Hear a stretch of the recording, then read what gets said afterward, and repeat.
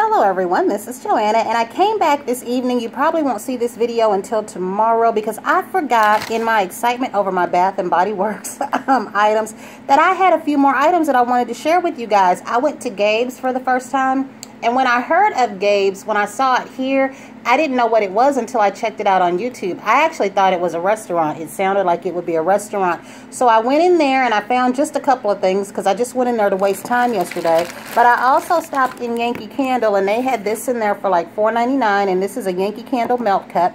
And I don't have a melter, but I have been told that I could break this up into manageable size pieces and use this in my um, I guess wax melt warmer that I have from Bath and Body Works because I watched Tina D. Delicious on here and I shot him that question and he said yes I can take this out of here but the thing that made me buy this is it smells so good. I don't even have what I need for this and I don't plan on buying one of those because I saw that the one that I was looking at was $34. So I will try to do this like that but like I said I have not used either of the two that I hauled on here. And this scent was honey lavender gelato and I really did like the way it smelled. And then of course I had purchased a couple of snacks this I get a whole lot um, I have this ham sandwich that I like to make it's pretty filling it's just something when I just want something quick and fast it's the double G ham the lunch meat ham and I get this oatmeal bread that's actually really good I have shown that on here before and I've probably shown these but these chips with that ham is really good but due to the vending machines at work, I've had a new chip obsession. And that has been these Krunchers jalapeno chips. In the machines, they're really, really good when you get the little, um, little bag. They're really, really good. But I'm kind of hooked on these, and a friend of mine at work is hooked on them too. So when I first got these, they were $2.50 for two or $5. So they were $2.50 a piece.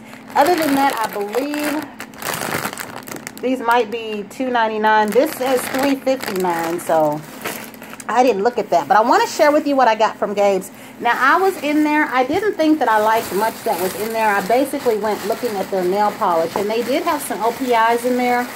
And one of them was $2. And it was something about Universe. But it wasn't the right color. And I can see now how some of those places get polishes. It was OPI. It was dark purple. But the color that it said it was, I knew that it wasn't that color. The other OPIs that were the right color, um, they had that pineapples have peelings too. Those were $3.99. But I thought this cup was cute because my daughter likes New York. And this cup was just $3.99. And I got this. I told her if there would have been two, I would have gave it to her. So she was miffed that I didn't give her this one. But I thought this was cute. And I'm just seeing right now today it says taxi on the inside. But what I actually did like while I was in Gabe's were their purses. Because you know I'm always talking about I like um, to carry a cheaper purse when it comes to work for my locker. Because I don't want to shove my expensive purses in there. But I found this purse right here. And it was $17.99. It's not real leather. It's that soft material like, I don't know if they call this like faux pebble grain leather or something. But I really did like this purse. It has compartments here. The zipper part I can use for my change because I have to have a lot of change.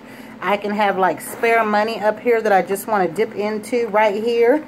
I can have an ink pen, you know, hopefully it don't leak because a lot of the things that mess up the purses I like are my ink pens leaking or some lipstick or makeup item leaking and so I have to be careful what I put in here. But this is just the right size for my locker. It's got a space on the back, like I can put the regular size envelopes when I want to mail something and I want to put some stamps down in here. Um, or if I just have a little pad of paper and a little pen. So I really do like this. Now, I'm just now opening it up while I'm here with you guys. And I'm seeing all these compartments here on the inside that I can probably slide my phone down into depending on if it's in a case or not. So I am really liking um, the insides and the outsides of this purse and I will probably try to fill it up today or tomorrow. The only thing I hate is I can really put wear and tear on these kinds of purses by shoving them in my locker. I have tried to clean my locker out at work. I know that I've cleaned it out, but it's that kind of mess that I've taken a lot out, but to the person looking at it, you would think I didn't take anything out. And it's that kind of mess that makes people respond, is your house like that? Because, I mean, I shove things in my locker. I have paperwork from when I got hired, which turned out to be a good thing when I needed a certain number to access my codes to do in-services online. I have old check stubs, old schedules, but I am going through all that to straighten it out. And then this purse will fit in that locker just fine. Um, but I really do like this now more today than I did when I looked at it. And I like that the strap is adjustable because you heard me say that I like straps. And that purple purse that I had, a lot of people like that, but the way that it was made, and I got that at Kohl's, it would flip upside down. And depending on what I had in there, stuff would fall out. Like I could just be walking, or if I adjust it, it would just flip. And it was almost like, I think that's why Kohl's got it, because of the way the straps were on there. Well, these straps here are straight across and so I do like that. And I can make this longer, make it short, you know, to adjust it when I'm wearing a coat, a jacket, or nothing. So I might go back and get another one of these as a backup. And I usually, I never repeat my purses, even my cheap ones. But I think I'm going to like this a whole lot. So I'm going to fill it up, like I said, today or tomorrow, and we're going to see. But I just wanted to share this in my enthusiasm. I forgot all about this stuff. And until the next time, everyone have a great day. I am going to go back to Gabe's and look at some more bags because I like those big carry-all bags.